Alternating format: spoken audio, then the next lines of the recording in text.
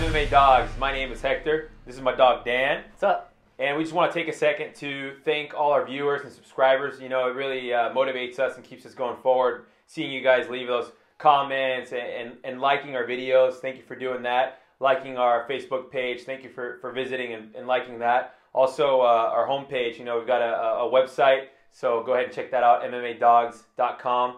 And then uh, also, you know, if you like the video, uh, the videos that we're doing, please subscribe. By subscribing, you'll get an email notification letting you know, hey, we've uploaded a new video. So, uh, so yeah, take a take a chance, take a minute, uh, take a second to do that. If you know anybody that is involved with MMA and predictions and betting and stuff like that, please tell them about us. Um, we really appreciate the support. And if you have any questions for us at all, please comment below and we'll get back to you as soon as we can. Yep. So tonight we're going to take a look at UFC 155. So let's dive into it. We'll break down these fights. And now let's take a look at the heavyweight championship of the world, UFC 155. We're going to take a look at Junior Dos Santos versus Cain Velasquez. Now, most recently, Cain Velasquez fought Bigfoot Silva and TKO'd him in the first round. Just a, a bloody mess of a fight. And uh, the fight before that, he was uh, knocked out by Junior Dos Santos in the first round and lost his belt. Let's take a look at Junior Dos Santos' last two fights. Most recently, he got uh, he TKO'd. He knocked out Frank Mir in the second round. In the fight before that, he took the belt from Cain and he knocked him out. So this fight is, is fun to break down because we actually have a, a previous fight to uh, to reference. You know, we already saw them fight once. We already saw the outcome, and uh, and I want to touch base on that. Let's talk about that first. In that first matchup, both fighters were injured going into the fight. And with Cain, I could tell he was injured at the weigh-in. He didn't look uh, he didn't look like his usual self, and not only that, but his weight was off also. So that greatly affected you know his training camp. The injury that he had greatly affected his training camp. He wasn't even able to get down into the fighting shape that he's usually in, and you know that can affect the guy's uh, psyche. You know when you know you're injured you know you're going into fight, like man, and uh, you know just taking a look at that and then taking a look at Junior also having an injury. So both these guys were injured going into it. Then the question becomes which fighter, which fighter's game plan, which fighter's mentality, which fighter's overall uh, abilities were affected the most by that injury? Was it Cain's injury that affected his plan the most, or was it Junior Dos Santos' injury that affected him the most? So we have to take a look at that and take that into account. Now, in my opinion, it was Cain Velasquez's injury that affected him the most. That's that's that's my feeling from watching the whole fight, watching the previous fights. Um, in my opinion, he was affected the most. But not to take anything away from Junior Dos Santos, he Junior Dos Santos rose up to the occasion despite his injury and knocked out Cain Velasquez and took the belt from him. Now, you remember this, dog. The uh, after the weigh-ins, when we watched the weigh-ins, um, one thing I like to clear up before I go into that actually is that Junior Dos Santos and Cain Velasquez are my two favorite fighters in the UFC, hands down. Um, and then the, my third is would be Anderson Silva, but those are my top. You know, you know that dog favorite fighters that I have. I mean, they're just my favorite. I remember when uh, when I watched uh, Fabricio Werdum fight against uh, Junior Dos Santos. That fight. Oh, who's interrupting? Who, who do we who do we have? Who do we have, dog? Who do we have? It's Overeem. Overeem. Yeah. Overeem. What does Overeem What the want? hell? Let's find out what Overeem wants here. Yo, what's up? He wants to know if I know a place where you can get some horse meat. you know, some horse, some horse meat. Hey man, we're in the middle of, ta- of talking about Junior Dos Santos and Cain Velasquez. Oh my Oh, goodness. oh, he's saying- Uh, Oh, that uh, that. Okay, he thinks that Cain Velasquez is gonna take care of Junior Dos Santos for him. Hey, but you know so, what? Hey, you know what? We got to we got to finish this breaking this out. I don't know exactly where you can get some horse meat. I'm sure if you just go on the internet, you'll be able to find some. All right.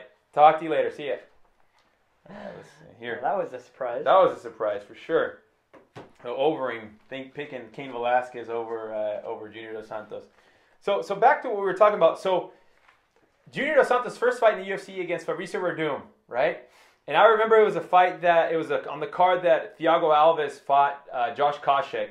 because that was my first large wager that I've ever done in, in UFC and the MMA. It was uh, I picked Thiago Alves over Josh Koscheck. So I remember that that clearly. It was on the same fight card, and uh, and it was a prelim. It was a prelim fight, and I remember at the time thinking to myself, watching Junior Dos Santos knock out Fabricio Werdum, saying to myself, that guy's the future of the heavyweight division. No, no Like joke. you said, future champion. Not only, yeah, exactly. Not only the future of it, the champion of, of the of the heavyweight division. You could just tell by his uh, by by the boxing that he displayed. And you know, usually heavyweights aren't the most agile fighters. You know, they're not like you know bantamweights and featherweights and lightweights who can move around. But he could move around. He had low body fat levels. He was just strong. You could just tell this guy did all the right things. And uh, he went in there huge, a huge, a huge underdog, huge underdog against Fabricio Werdum. Fabricio Werdum was supposed to fight the champion, so he went in there, knocked out Fabricio Werdum, and you could just tell he was, so happy. He went over, hugged Nogueira. Oh yeah, yeah, yeah. He's just so happy. And uh, at that time, you thought, man, this guy's this guy is going to be the champion. This guy really has a lot to offer. And then, uh, you know, just beating people up left and right. He's never, ever, ever, ever let me down, Junior Dos Santos. He's just just on a tear. And then we got a guy like uh, like Cain Velasquez, you know, who has just this incredible wrestling. I mean, that fight we were there at the Honda Center when he fought uh, Brock Lesnar. And, yep, uh, uh, remember that? 121? Remember that? I Yep. remember when I remember Bro- when Brock Lesnar walked out into the into the arena Brock, the Honda Brock Lesnar's going home with the belt no matter what. That's Yeah, just all kinds of all kinds of crazy talk and nonsense. And Yeah. I remember when uh, when Brock Lesnar shot in for his first takedown, the whole octagon just you see the whole octagon just Yeah. move. I mean, this guy's a beast, a mammoth of a man walking into the octagon. And uh, and Cain Velasquez was able to handle him. Was able to handle not only that, take him down, beat him up, cut him wide open, and his cheek just just a display of just just skill. And then what he did to to Bigfoot Silva. So to break this fight down, I mean, is just one of those fights where I'm thinking to myself, man, I really, really wish they were fighting other people and not each other. Just because it is such a such a such a such a interesting, such a good matchup. The wrestler versus the boxer. Who's gonna win? Now, um, Junior Dos Santos, the fighter that he fought in Cain Velasquez last time wasn't the same fighter that we're gonna get December 29th. Exactly. It's not. It's not it, right, dog? Nope. It's not, all. it. It really is. We know Junior Dos Santos doesn't have a knee injury himself either, so Yeah. he's better. So he's better, and he's already beat him, so he's got the confidence going into it. Exactly. But before that, he fought Cain Velasquez. The best wrestlers that Junior Dos Santos had fought were Shane Carwin. Yep. I mean, when we think about Shane Carwin, we don't really think of a wrestler. yeah. I mean, it's a knock. He's a knockout artist, right? Knockout guy. He's gonna knock the guy. He's big guy. He's gonna knock him out. Incredible power. And Roy Nelson. We don't really think of a wrestler either, but those are the best wrestlers that he had faced. So with Roy Nelson, you know, we think of a guy who's gonna knock somebody out or get him in the crucifix, put the belly on the face, put the belly Yep. on the head, Yep. and then and then extend the arm for an armbar, right? Or or, or yeah, or no, TKO. just TKO. So so now we have him going up against hopefully the real Cain Velasquez, the wrestler, and we have uh, we have Cain Velasquez coming off a strong outing against Bigfoot. I mean, you just tell this man is possessed. You know, one interesting thing when when we were at the Honda Center watching the fight, uh, I saw uh, Cain Velasquez's dad in the audience sitting down. You know, he had his hat on, and I thought to myself, man, God, like it would. What a what an interesting what a what a what a situation to be in where your son is fighting a guy like Junior Dos Santos, and uh, and you know I like I told you guys I was pretty I was very I was a five star pick for me sure that Junior was gonna get Cain and and he did. So I remember thinking like man what a like what a what a tough position to be in you know watch your son fight you know I have a lot of respect for fighters a lot of respect for people who who support them their family their friends a lot of sacrifice that goes on so I'm thinking to myself, like, man, that what a what a tough position to be in. And sure enough, I didn't expect it to be as fast and as easy as it was, but sure enough, Junior goes out there, lands lands that that, that, that punch right right by the ear, right around the ear area. Cain falls, and you know that's it. So what I see there is Cain is not going to allow that to happen again. He he's going to try his hardest to not let that happen again. And I'm just torn between. I've never felt this way between picking a fight. And, uh, and and this is putting my, my, my favorites aside. Originally, when, when I when I had uh, talked talked about this fight with my dog. This is a fight we spent a lot of time talking about. I said Cain Velasquez is going to use his wrestling to take Junior down, take him down, ground and pound. You know, perhaps we see a decision in the heavyweight division. You know, something, something, something we've never seen. It's a matchup like we've never seen. So I'm thinking to myself, like, man, is is Cain Velasquez gonna be able to take him down and then work the ground and pound? But we've seen Junior Dos Santos' great ability to prove it, you know, to, to keep the fight standing up, to keep the fight standing up. So I'm just in a real. I mean, this is a really, really tough position to be in, trying to decide, okay, who's gonna, who's gonna win, who's gonna win. And this morning, I spent at least I had another an extra. I mean, on top of the time I already spent researching it, an extra time researching this fight. And I see, I mean, I looked at Junior Dos Santos, just started looking at his record all the way through, just the way he's been going through, guys, the way he's been going, just working, working, working. And I know he's working on his wrestling.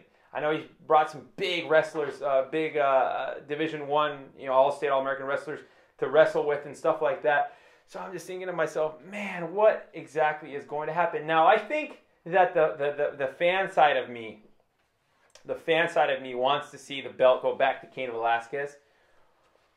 But this morning, like I said, I was looking it up and looking at some different things, and man, Junior Dos Santos, this guy is no joke. I mean, we've talked about this so many times, dog. Just in and and I really didn't think I would be standing here saying that Junior Dos Santos is going to keep his belt.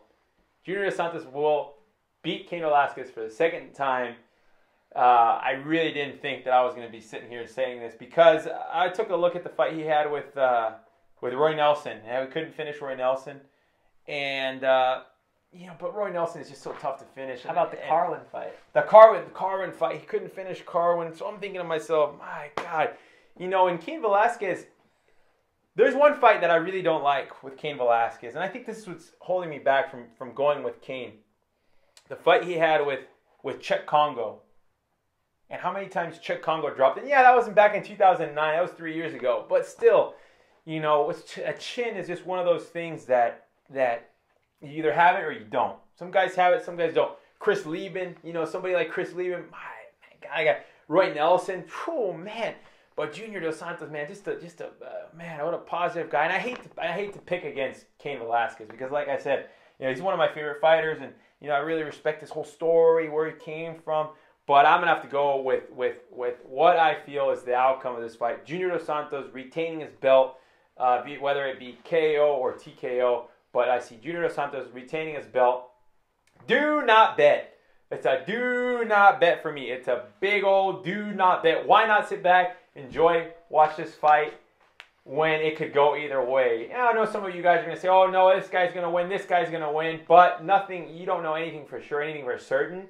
Uh, especially with this particular matchup, dog. I mean, I just, um, I really see it uh, going that going for Junior Dos Santos. Do not bet. Uh, what do you got, Doug? What do you got? Yeah, it's it's a pretty tough one Man. to call. Like uh, I like both guys also. Uh, we were together for the uh, the Brock Lesnar Cain Velasquez fight. Watched We Cain watched take that one. the belt. Then we went back to see Junior take the belt from Cain. Yep. And Honda by, Center twice. By the way, by the way, at that fight, me and my dog in a tiny little section Yeah. across the arena, yeah. Like with Brazilian, like Yeah. they had their flags, and everybody Five- else in the, in the arena five was stars. Latino. Everybody Five else was stars. Latino. Yeah. All day on the Cain train. Yeah, let me everything let's that. not let's not let's not let's not make a joker. You know, it was it was Mexico. It was Mexico Mexi- versus Brazil. It was almost like a like a soccer game, you know. Right. And it was you know being in Anaheim, it was a lot of Mexican Mm-hmm. people, a lot of Mexican Americans in the crowd, and uh, and it was great. It was a great environment to be in, a great showing, and there were very few Brazilians in the crowd.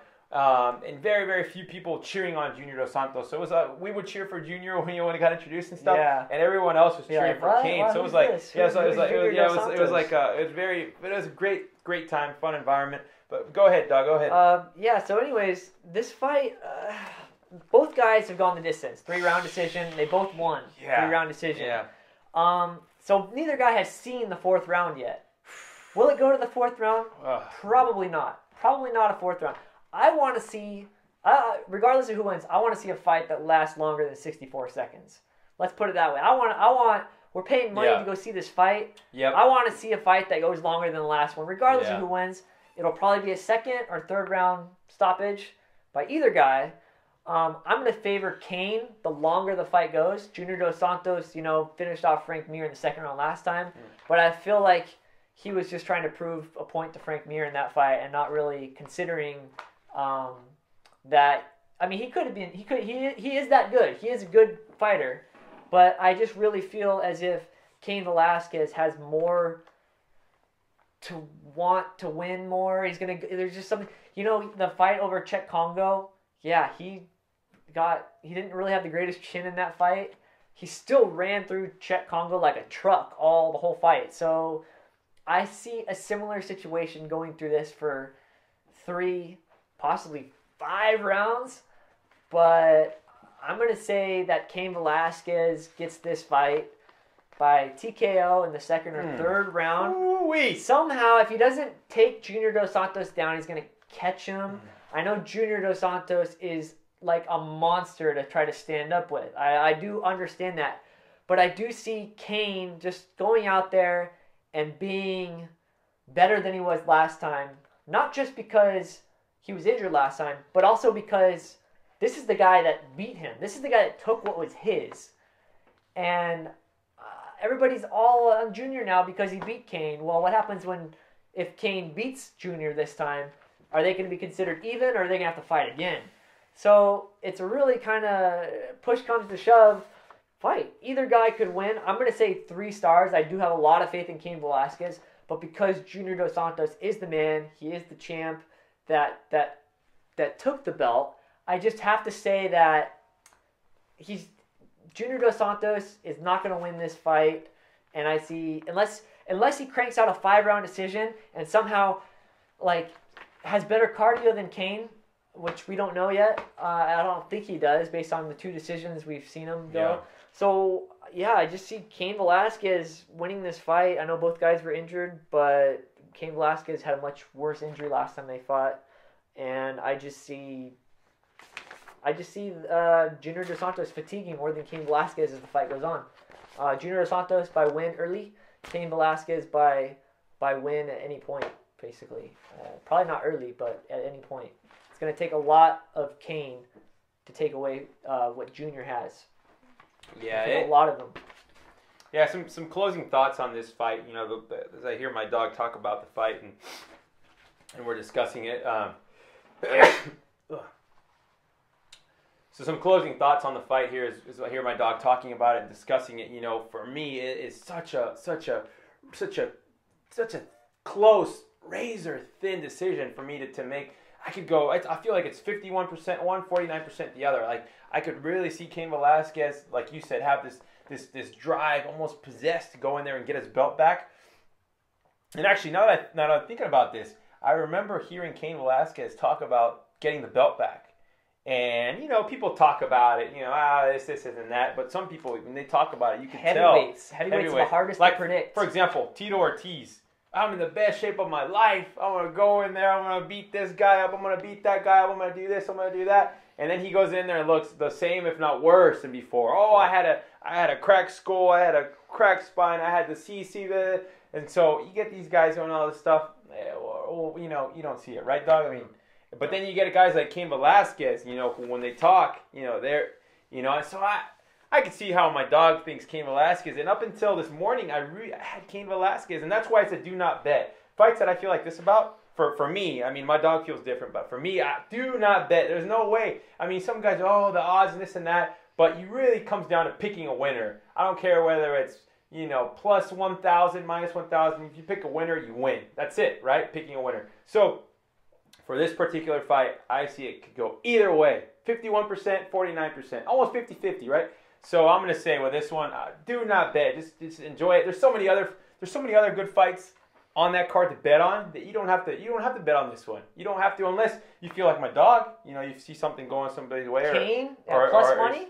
Oh, yeah, yeah. So yeah. and you know eh, one one other thing I like to comment on is uh, how close the odds are. You would think that they would have I would have thought they'd have been closer. no no. You would think that you think they're closer, almost like pick 'em. Uh, well, I think I, I, I would think, I personally would think that that the public would bet, not only the public, but also the, the, the odds makers open up the line to where uh, Junior is more of a favorite, Cain is more of an underdog. I was surprised at how close the line the line is.